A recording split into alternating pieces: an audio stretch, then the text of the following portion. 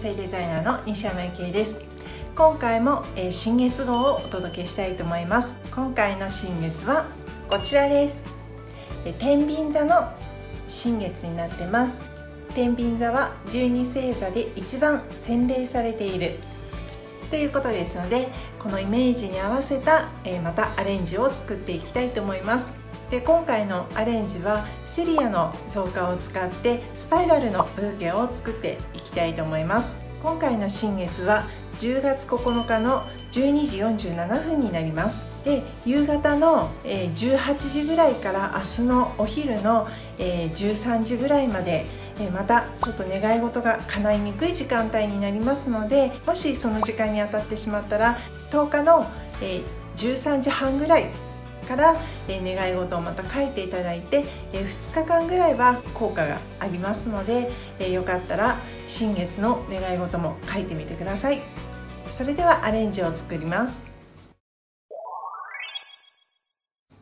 はい。今回の花材はこちらです。で今回ちょっとバラバラに置いてあるんですけれどもこちらはスパイラルを組む時に、えー、その組む順番にしてあります。でまずは花材のご紹介をします。はいこちらのピンクの小花ですね。セリアの商品の小花でこちらすごい使い勝手がいいので、えー、私も気に入ってる小花なんですけれども、はい、商品名がミルキーベビーブレスという商品名になってます。こちらをピンクを3本。で同じ種類の、えー、白ですね。こちらも3本。3本ずつ用意しました。はい、優しい色合いのブルーのお花でちょっと紫が入った花びらになってます。はい、商品名の方がニゲラですね。草花の方にもニゲラというお花があります。はい、こちらのブルーが3本になってこちらも同じ種類で白ですね。白の方が2本用意しました。あともうちょっと濃い色のブルーでニゲラをもう1本用意してあります。はい、あと今日メインにするこちらラベンダーですね。濃い色ですね。はい。ラベンダーという商品名になってます。こちらは2本用意しました。あとカラーリーフもちょっとつけていこうかなと思うのでボタニカルオーナメントというこちらちょっと丸い葉っぱですね。のカラーリーフを使っていきます。はいこちらは2本用意しました。あと飾りにリボンをつけるんですけれどもオーガンジーリボンでサテンエッジの、え幅が 32mm、え長さが 2m というこのぐらいのものを用意しました。あとはニッパーを用意してこちらの花材で作っていきます。でまずは長さをカットする下準備は今回はないので右側から組んでいく順番になっています。こちらからですね。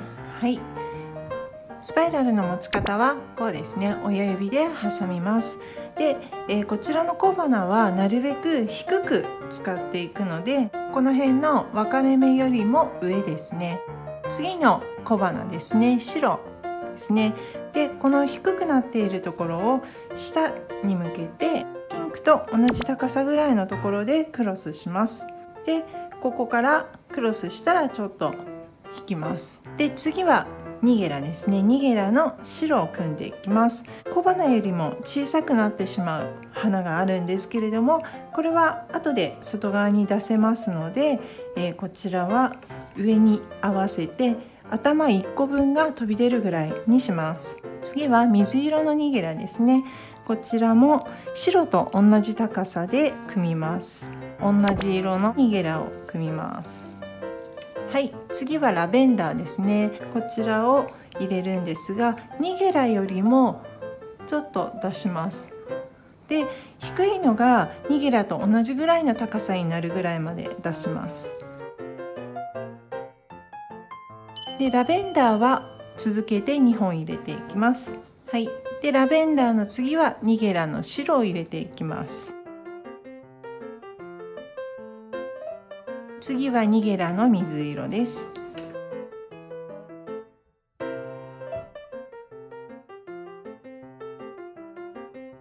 次は小花のピンクですね。ちょっと後ろ側に入れるようにこうバッテンにしてで隣に並べる感じになります。次はニゲラのブルーですね。はい。ピンクをの小花を低いところに入れて白い小花をはいこの辺に入れて交互になるようにします。で最後仕上げにこちらのカラーリーフを入れるんですがカラーリーフの方はこうスパイラルのようにこう斜めになれば大丈夫ですのでこう入れたいところをまず上にして重ねます。反対側に入れたいところにちゃんとスパイラルになるように斜めに入れていきます。はい、で今、えー、こちら側とそのちょうど反対側にカラーリーフが入るようにしました。ここの枝がこう落ちないようにしっかり持ちながらニゲラの低いお花ですねちょっと外側に出したりあと長いニゲラをラベンダーの方に中心の方に近づけたりします。でこの組み方をするとラベンダーがちょうど円の真ん中に来るようになります。でこちらのニゲラも中に埋もれているのでこうかき分けて出れそうなところで出してあげます。はい、穴の開いたところがないように調整したら増加なのでこの茎が滑りやすいのでパスタを、え入れる時にクッと斜めにしてパサッと広げると思うんですけどもそんな感じでこうちょっとくるっと絞ってスパイラルのこう根元にします。そしたらワイヤーを、え1本用意して、えなるべく根元の上の方ですねこうぐるっと巻きます。でちょっと引っ張ってきつきつめに引っ張ります。で、え、3周ぐらいしてまた爪を立てると結構強く巻けます。ちょっとこんな感じで丸める感じにしてぐっと枝の中に入れ込むと針の先が尖って、えー、出っ張ったりしないので綺麗に収まります。でこちらにリボンを巻いていきます。そしてこちらは結構、えー、3 4 0センチぐらいですねあります。はい。でこちらの長い方をぐるぐる巻きにしていきます。はい。で今回はスワッグではないのでこの1箇所に5周ぐらい巻きました。である程度巻いたらここでリボン結びにします。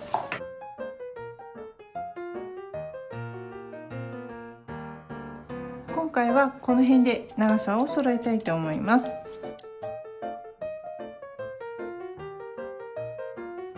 はいこんな感じで下の方も切り揃えてみました。あと上の花も、えー、上にずれて出てないかこう確認してでまた枝が出ていたら切って上がずれていないかをまず確認して仕上げをしていきます。